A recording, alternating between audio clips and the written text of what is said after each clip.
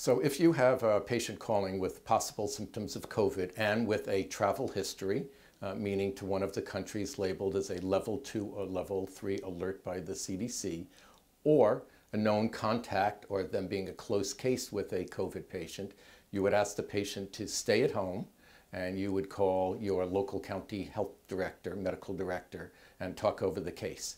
Ideally, the patient could, would be tested at home by the county.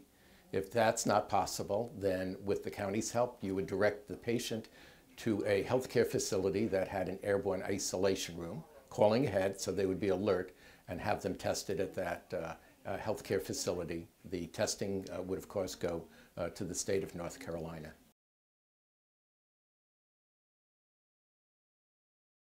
At the present time, we have built into Epic a screening tool. So the screening tool asks every question, every patient as they come to a clinic when they're in front of you in the clinic, it asks them, asks first, do they have symptoms?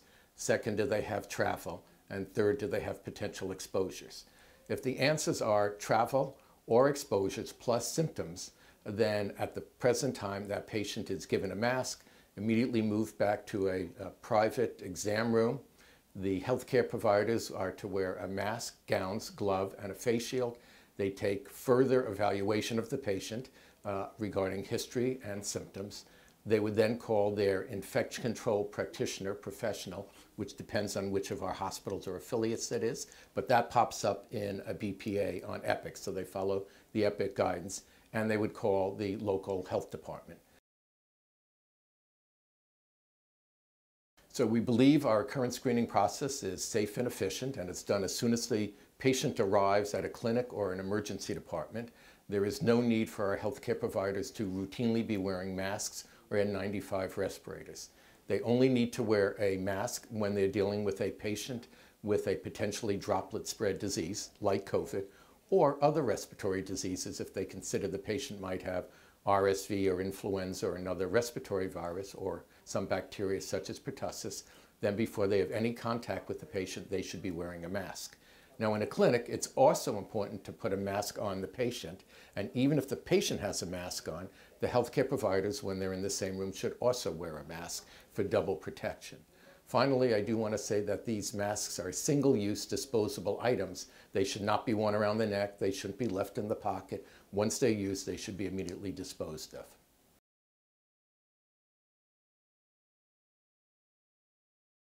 So the goal here is to keep any possible COVID patient or even a patient with known COVID at home.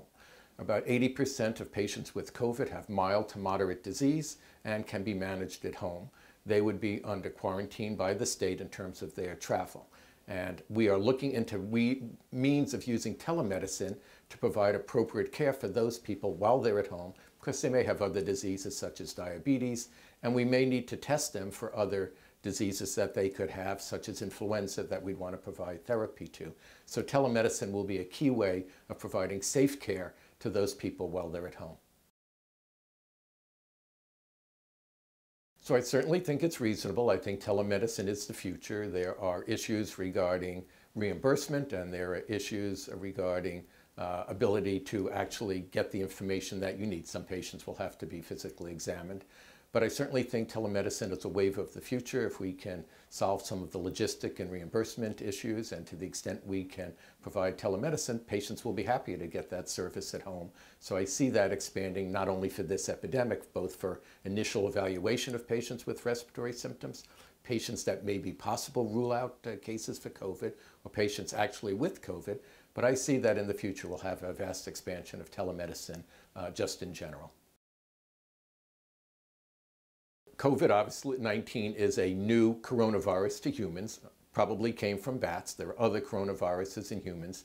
Certainly it is mutating and changing, but we've not seen that that's affect either its transmission or had any effect on the clinical symptoms or their outcome uh, over time.